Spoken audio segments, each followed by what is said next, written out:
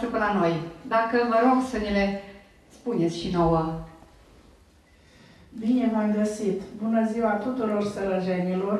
Mulțumesc foarte mult de invitație. Eu, în primul rând, am uh, invitat-o pe Ileana Grațiana Pop.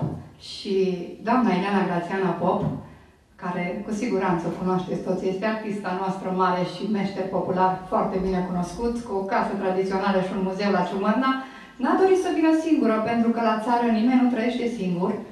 Ei nu sunt așa izolați ca și noi orășenii și ne fie frică să vină cineva în casa noastră. La țară ușa e deschisă tot timpul. E dimineață până noaptea târziu. nu e așa, Lele Anastasia și Lena? Așa așa Aveți dreptate. La țară, țăranul așa cum e el, obișnuit, are întotdeauna ce să pună pe masă. Are pălinca, care e sufletul țăranului, mai ales a sălăjenilor și a ardelenilor. Iar clisa, ceapa, brânza, și pâinea crescut acolo frumos în cuptoarele alea, cum s-au făcut întotdeauna de la bunicile noastre. Cu asta țăranul se mândrește, cu asta țăranul oriunde se duce, dacă găsește să-și cumpere ceva și are bani în buzunar, bine de bine. Dacă nu, clisa și ceapa și brânza este în straiță. Tocmai de aia Vă mulțumesc din suflet. Mă simt onorată că sunt aici în mijlocul dumneavoastră să vă pot povesti ce pune țăranul român în straiță. Avem aici de toate, uitați-vă, chiar pune și o zacuscă. Aia e făcută de gospodinele Vreau să vă noastre. spun că atunci când au sosit Ileana Grațiana, Poblea Anastasia și Lena din Ciumărna, noi pur și simplu ne-am acoperit uh, protocolul nostru de acolo din spate, că ne-am gândit că mai de poftă, o să fie tot ce au adus ele. Le-am acoperit deocamdată, gândindu-ne că toți o să tânjiți după ceapă și slană și brânză de la ciumărna. Dar vă rog, cum e, ce se întâmplă cu straița și cu merindele? Vreau să vă spun că femeile noastre, gospodinile noastre din totdeauna, ele știu să se pregătească cu straița, iarna țăseu, lâna o torceu, câinii pe torceu, o țăseu, o lucrau, ele aveau tătă iarna de lucru. Ca vara, când se duceau la lucru, să aibă ce-i pune merinde în straiță la bărbați sau dacă avea un om la lucru. De exemplu și eu, pe femeile astea le-am adus astăzi aici. Dar eu le-am adus și merinde. Dar v-am chemat azi că e sărbătoare. Știam că dacă vă chemăm în zi de lucru, nu-ți putea veni. Dumnezeu să ne ierte astăzi că am lucrat un timp, dar ne-a iertat Dumnezeu că ieșit de la biserică. Dar cred că m-a v-ați făcut că lucrați, că așa ne-am înțeles. Cât e cât, cât e cât, ca să Părintele, vă rugăm să puneți pentru noi o vorbă bună, că astăzi nu au lucrat, doar așa ca să vedem noi că încă la țară se mai coase și se mai lucrează tradițional. Mulțumim din tot sufletul, iar acum eu vreau și să... Și oare la ciumărna se mai horește acum? Că să tare mai mândre sorile pe la noi. Să mai și horești. O să vă și horim puțin, nu mult tare, că nu vrem să vă ținem, că mai sunt vorbitori. Dar vreau să vă spun, uite, fetele astea, tu când ți-ai făcut straița Anastasie? Dar pe mulți doi ani v-am făcut. Și la Lena? Și la Lena i-am ajutat, i-au făcut și el. La Anastasie vreau să vă spun că de câțiva ani de zile războiul în casă nu s-a gătat. de ani. Nu mi-a ieșit războiul din casă până anul ăsta. Anul ăsta încă n-am apucat să-l pui, dar pui până la primăvară mai este mult și-l pui. La noi să mai țăs lipiau și să mai poartă încă lipiau pe paturi așa țăsute de gospodinele noastre. Iar eu vreau să vă pui, voi pune în straiță merindia, dar mai târziu. Dar vreau să vă spui că am străiți de... Ce puneți în straiță oare? Ce se pune în straiță? plisă, ceapă, brânză, mai punem și o măr când îi de Și bălinca lipsește? Și bălinca nu lipsește. Pentru că așa suntem, așa suntem învățați. Așa suntem învățați. Iar eu le sfătuiesc să-și facă și o straiță de duminica. În sărbători, când se duceau nevestele la târg sau unde mereu, își făceau o straiță mai colorată, mai frumoasă. Și care de care își făcea straița mai frumoasă, care era mai nealcoș în sac, sigur că își făcea o straiță mai colorată, ca este zile, mereu cu straița asta care e făcută pentru merinde. Ce frumos și toate erau făcute de mâna lor. lor și cu imaginația da. și creativitatea da. lor. Vă rog să ne și horiți puțin. Hai să vă horim un pic. Foaie verde, iarbă deasă, iarbă din zăvoi. Frumos cântă cucu, costă cucu în sala noi. Frumos cântă cucu, costă cucu în sala noi. Ară plugul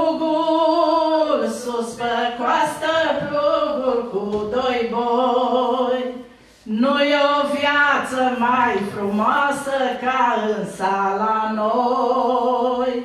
nu e o viață mai frumoasă ca în sala noi. Vă mulțumesc frumos!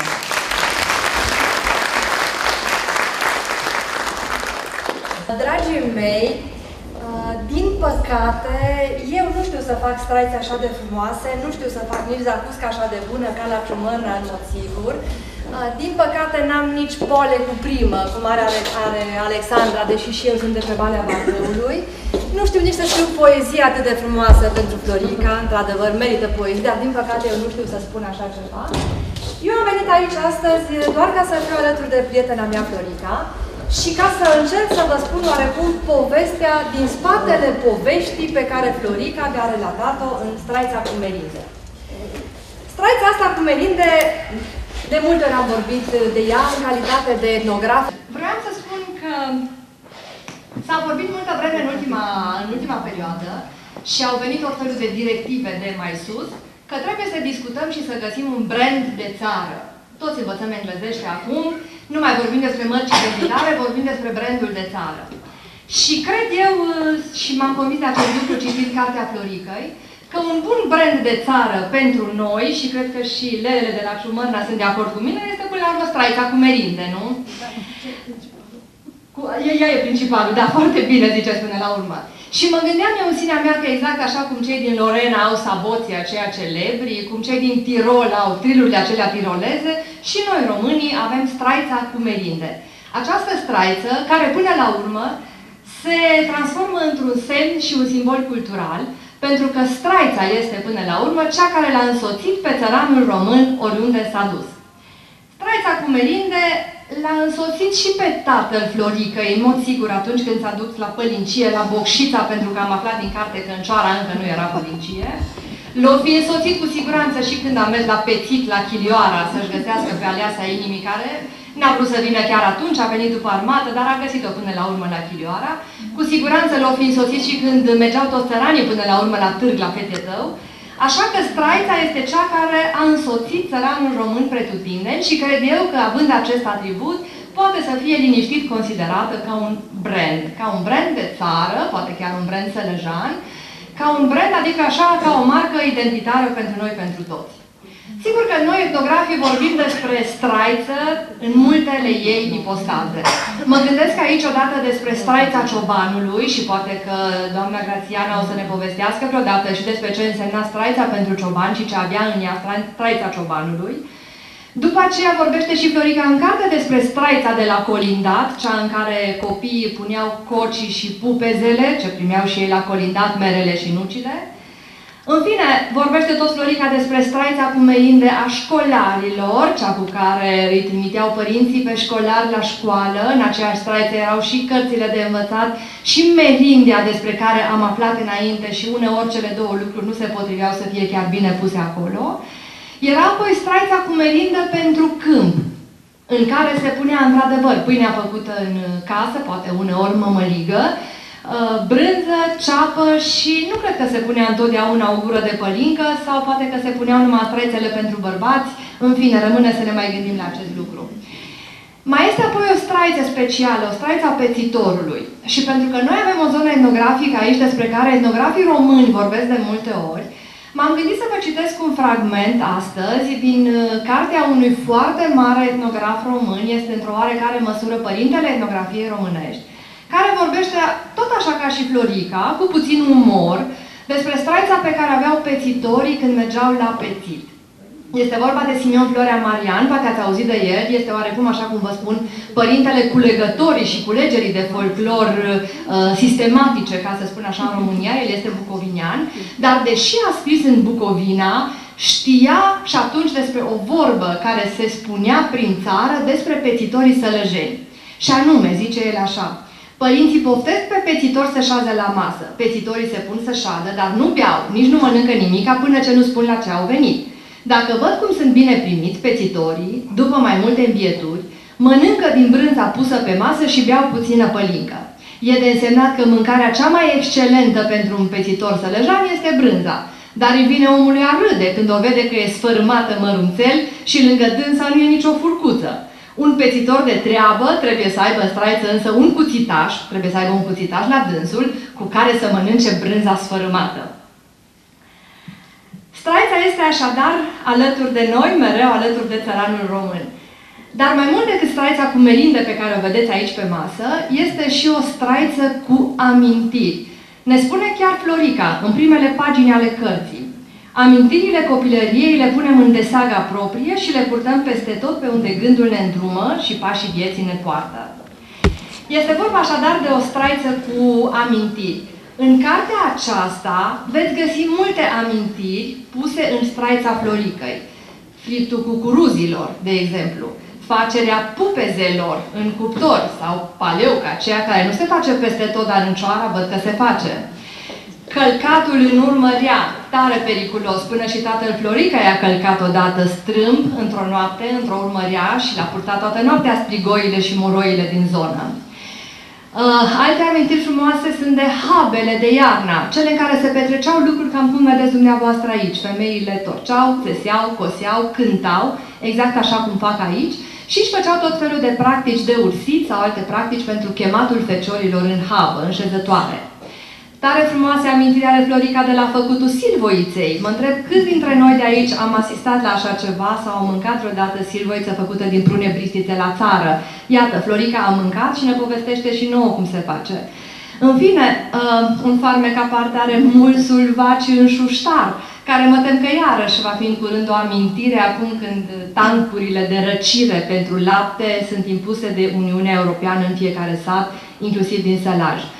În fine, straița cu amintiri este plină de repere etnografice și aș zice că sunt puțin invidioasă pe Florica, pentru că s-a transformat, văd și ea, într-un culegător de folclor până la urmă, așa ca și noi etnografii, și ne dă multe repere etnografice.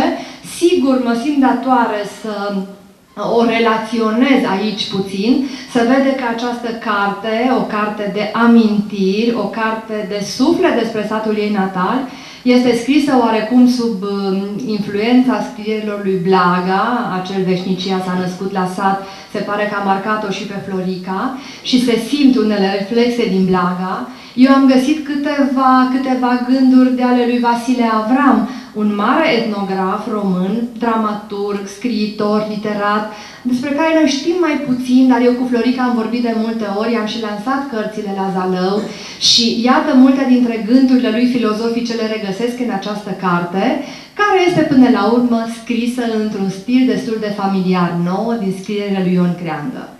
Sigur că uh, dacă nu, dacă aș putea să las puțin modestia la, part, la o parte, dar mi-e destul de greu să fac acest lucru, m-aș gândi cu drag și cu puțin orgoliu că poate i-au stat vreodată în față și cărțile mele, prietenei mele Florica, și că multele și desele campanii de teren pentru culegerea de material etnografic, pe care le-am prezentat nu odată în emisiuni de televiziune cu Florica sau, mă rog, în alte, în alte împrejurări, poate că au mobilizat-o puțin și acele uh, scrieri.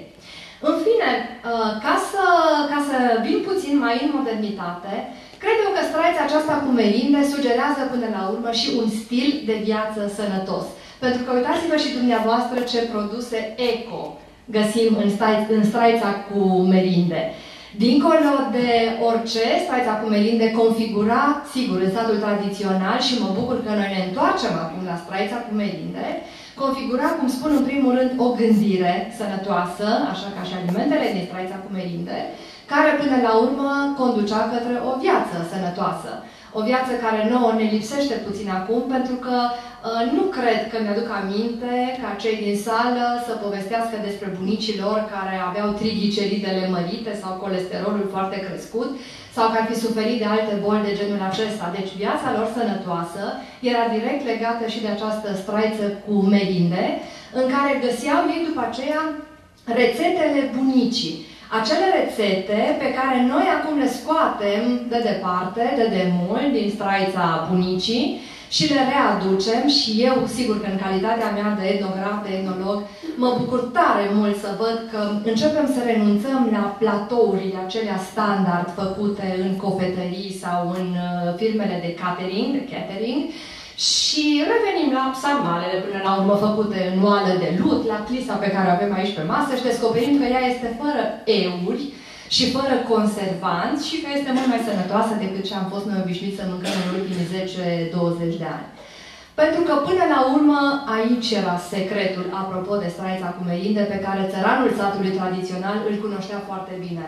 Raportul dintre muncă și odihnă, raportul dintre alimentația sănătoasă și viața sănătoasă și până la urmă o mentalitate sănătoasă care era subordonată în primul și în primul rând uh, acele expresii care se numea a fi în rând cu lumea. Să fii în rând cu lumea însemna inclusiv să ai o straiță cu merinde, dar însemna să te comporți potrivit tiparului instituit cu tumiar în satul românesc, unde orice abatere de la regulă era puternic uh, sancționată. Vorbește și Florica în carte, are un capitolaș acolo special care se numește Nu se cade. În satul românesc nu se făcea nimic din ce nu se cădea. Tot ce se făcea, se făcea în ordinea acestui precept de a fi în rând cu lumea, de a avea un rost și de a-ți urma acel rost. Iar echilibrul pe care îl conferea țăranului român acest rost, acest echilibru, această armonie, se traduce în viața armonioasă pe care o avea și în raporturile extrem, extrem de echilibrate pe care le avea el cu sine însuși, el cu familia, el cu vecinii, el cu satul, el cu grupul social mai larg și până la urmă el cu divinitatea. Dar uh, suntem uh, europeni, nu? Căutăm brandul de țară. Și încă o modalitate de a fi europeni și de a demonstra că românii au ceva ce poate să fie european, o să zâmbiți, este capitolul modă. Și am descoperit și eu, citind pe internet uh, tot felul de informații, de știri, că până la urmă, dacă vrei în anul 2014 să ai un nou look, sau dacă vrei să fii trendy, atunci cu siguranță acel must-have, adică ceva ce trebuie obligatoriu să ai, este straița românească. Este straița românească și IA, știți că avem o zi a IEI acum și ne bucurăm că o avem, s-ar putea să avem și o zi a straiței până la urmă, dar dacă vrei să fii trendy, trebuie să ai straiță. Și nu mică îmi fu mie mirarea când, uitându-mă așa la derută pe prietenul meu Google de pe internet, am descoperit că multe dintre politicienele române, femeile politiciani din România, se duc la Bruxelles, la Parlamentul European, cu o straiță și încearcă să ne promoveze acolo straița. Nu voi da numele lor, dar cred că le bănuiți. Așadar, găsim această straiță cu merinde pretutindeni, dar poate că nicăieri nu o găsim atât de frumos redată ca în această carte semnată de Florica Pop. Și mi-aduc aminte că în urmă cu multă vreme, când eram eu foarte tânără, era o melodie care se numea că nu e om să nu fi scris în viața lui o poezie, măcar o dată, doar o dată în viața lui, după cum zâmbiți, mă gândesc că vă aduceți aminte, cred că până la urmă nu e om să nu scrie o carte în viața lui. Florica a făcut-o într-un mod absolut magistral și și-a găsit acel subiect uh, de care avem nevoie toți ca să avem legitimitatea originilor. Satul. Satul ei, satul natal, a scris o carte despre satul ei, ce poate fi mai lăudabil. Cred că nu forțez dacă spun că fiecare dintre noi ne simțim împliniți dacă avem un copil, dacă facem o casă, dacă avem o carieră în viață, dacă ne respectăm părinții și, de ce nu, dacă scriem o carte. Nu am întrerupt niciodată legătura cu locul natal, spune Florica. Sunt doar zeci de ani, nu viacuri, de când am trăit cele împărtășite acum, Dar gândul care m-a îndemnat să nu le las să piară, odată cu oamenii aceia de aleasă omenie pe care în curând o să-i găsim doar în cărți, a fost sentimentul pierderii unei lumi, o lume apusă, se pare, pe care oricât încercăm să o reinventăm, nu prea iese. Nu ne iese, într-adevăr. Dar trebuie să ne raportăm mereu la tradiția românească, la această straiță cu melinde, și nu pot decât să o felicit din tot sufletul pe Florica pentru inspirația pe care a avut și pentru felul în care a știut să trateze acest subiect. Este o carte ușoară, o lectură plăcută, o lectură care te face să zâmbești la fiecare pagină, să stai să te gândești cu nostalgie că poate și tu ai trăit așa ceva în copilărie sau oricum părinții și bunicii tăi au fost acolo. O carte uh, pe care sunt absolut convinsă că dacă o veți avea în mână, o veți îndrăgi și nu o să o lăsați până când nu o și citiți până la capăt. Nu pot decât să o felicit încă o dată pe Florica, să-i urez la mai mare și m-aș bucura tare mult dacă gestul ei ar fi unul contagios, adică dacă și alte sate s-ar bucura de astfel de povești, de amintiri, de, de lucruri frumoase scrise despre tradiția românească, cea sănătoasă și sățioasă, cum o numește Florica. Felicitări, Florica! Și uite cum s-au schimbat rolurile, nu așa, Camelia? Și trebuie să recunosc acum că am mai mare emoții decât atunci la emisiunile noastre provocate la lectură, când eu vă invit și vorbim despre cărțile voastre. Este foarte greu, dar mă bucur că mesajele din carte le-au înțeles uh, chiar mulți până acum și am dorit doar să transmit că în satul meu uh, era așa, multă, multă bucurie și dacă un om era necăjit, toți ceilalți încercau să-i scoată un zâmbet, să-l facă să zâmbească, să fie fericit. Dar pentru că sunt multe de spus și eu, uh, poate încă eram copil, când eram la liceu, poate și mai târziu puțin, am aici în sală o, o prietenă bună. A fost o colegă de liceu și de facultate, profesoară de română la școala Iuliu Maniu. Se uită la mine și simt că dorește să vorbească ceva despre straița asta în care ne-am pus noi ce spunea bunica mea așa? Și cel mai mare lucru pe care l-am reținut eu, sau mai important, a fost Fata mami, să nu ne faci de rușine pe unde te duci. Cred că este foarte important să nu uităm asta. Enuța, te rog. În primul rând vreau să te felicit pentru că ești neobosită în a mărturisi și în aceste cărți despre valorile în care crezi. Nu știu dacă intenția ta a fost de a aduce o straiță cu merinde care să aibă aromă de țuică sau de ceapă. Aroma pe care eu am uh, descoperit-o în merindea cărții vorbește despre o viață trăită în simplitate, în credință, în respect pentru muncă, în omenie. E adevărat, m-am amuzat așa în sinea mea citind cartea, gândindu-mă la tine, mi-am spus dacă i-ar sta în putere Floricăi, ar transforma o cioară într-o pasăre măiastră.